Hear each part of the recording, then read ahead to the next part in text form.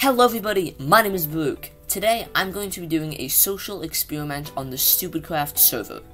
I built three houses at varying distances from spawn. 200 blocks, 1000 blocks, and 1500 blocks from spawn.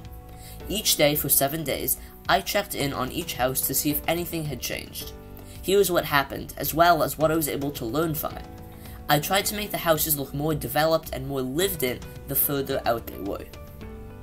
Before we start, make sure to stick around until the end of the video to hear about a giveaway on StupidCraft. Let's get started. On day 1, the first house, 200 blocks out, had clearly been found. When I arrived, I noticed that some items had been taken and the top window had been broken. But somewhat surprisingly, the other two houses were untouched. Building a house 200 blocks from spawn is clearly not a good idea. On the second day, some more items had been taken from the first house, 200 blocks out from spawn, and some other items had been left in the chest. I think I dropped them at spawn earlier that day, so it's funny that they ended up there, most likely just a player getting rid of some junk. As with on the first day, the other two houses remained untouched.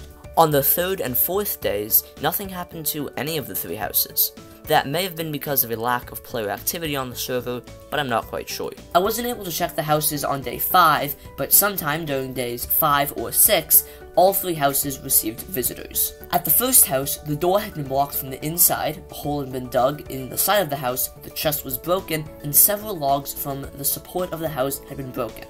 Some of the cobblestone around the window was gone as well. Moving on to the second house, a large hole had been blown in the wall and the floor of the house. Signs had been left apologizing for the damage and explaining that it had been a creeper. They felt so bad about it, in fact, that they even took some items from the chests. To be fair, I don't really blame them, especially if they were a new player, which it seems like they were. The third house had also suffered some theft. Items had been taken from the chests, including the diamonds. The last day of the experiment was uneventful. All three houses remained unchanged, with no signs of player interaction. So, what can we conclude from this experiment? Well, it's pretty clear that the closer you build to the spawn, the more likely you are to be raided. I think most of us already knew that, but it's still interesting to see it play out in such a concrete way. I think this can be applied to larger distances as well. For example, anything under around 100,000 blocks from spawn is considered fairly close to spawn by most people. This experiment shows how even on the scale of 1500 blocks, the bases closer to spawn are raided first and more often. It also shows that there are definitely some honest players out there, as shown by the sorry signs left behind after the creeper attack. And now for the giveaway.